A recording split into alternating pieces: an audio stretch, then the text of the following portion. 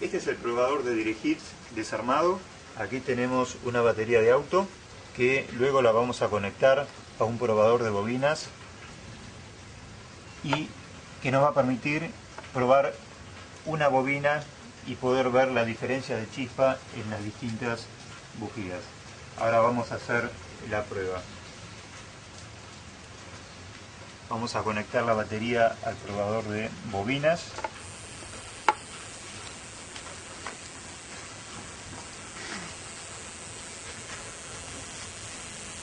Ahora vamos a conectar a la primera bujía, que es una bujía con resistor marca NGK.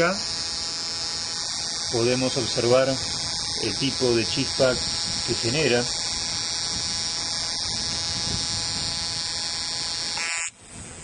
Ahora vamos a hacer lo mismo con una bujía NGK Iridium.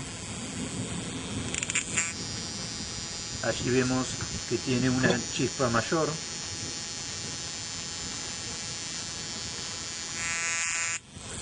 Y ahora vamos a conectar al Direct modelo S80, el cual utiliza una bujía NGK sin resistor, una bujía común de electrodo simple. Aquí podemos observar cómo cambia la chispa.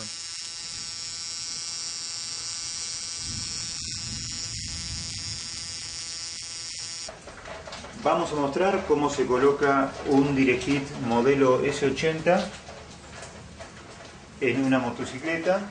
En este caso es una Yamaha XTZ. Lo primero que tenemos que ver es si es posible su colocación. Eso es verificando si hay 2,6 centímetros sobre el capuchón del cable que conecta la bujía.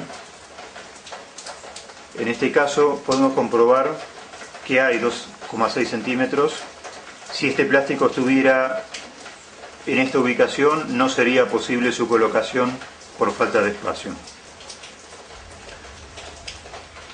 A continuación vamos a verificar qué tipo de bujía tiene instalada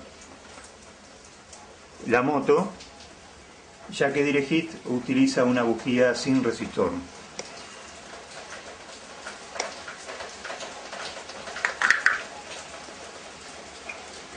Vamos a quitar la bujía actual utilizando un sacabujías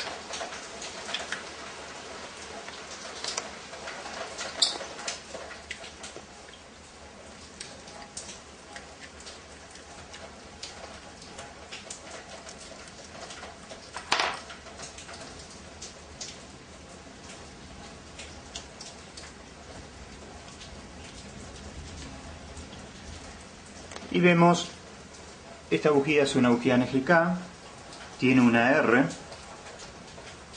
y aquí tiene su código es CR7HSA la R significa que es una bujía con resistor con lo cual vamos a necesitar cambiarla por una bujía también de marca NGK pero sin la R en su código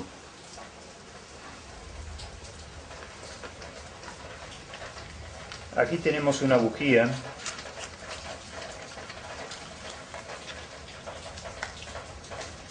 NGK C7HSA y como podemos observar, si la comparamos con una CR7HSA, son de igual tamaño, son exactamente iguales.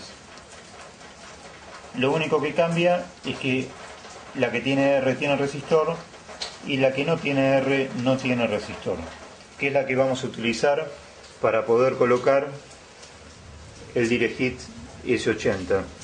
También podemos ver cómo extiende en 2,6 centímetros el DirectHit el largo de la bujía actual.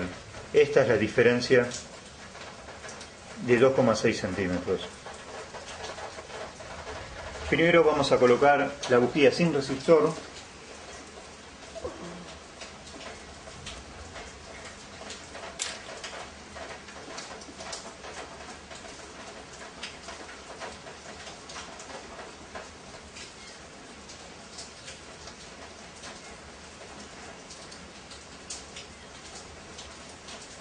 como hacemos habitualmente,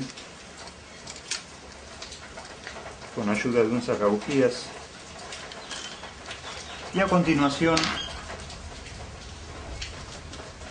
vamos a colocar un poco de grasa disipadora que nosotros entregamos con el producto. Solo un poco en la parte blanca de la bujía, en la porcelana. Colocamos un poco de esta grasa alrededor,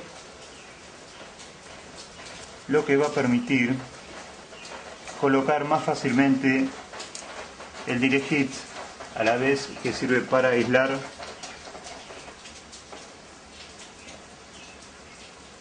y proteger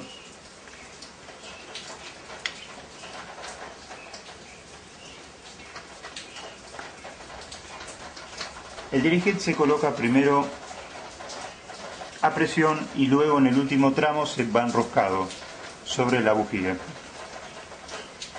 Manualmente, no hace falta utilizar ningún tipo de herramienta, queda firmemente colocado, con lo cual es imposible que se pueda salir.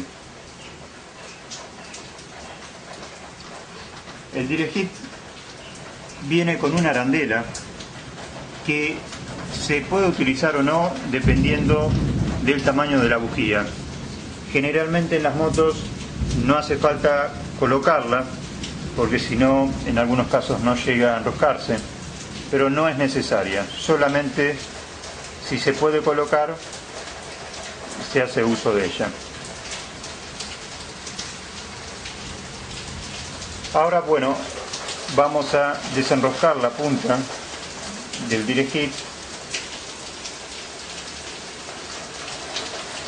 solo porque el capuchón lo requiere. Si no, no podríamos colocarlo.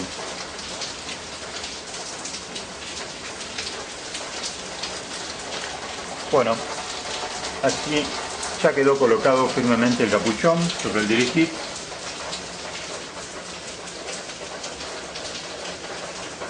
Y ya quedó lista para usar.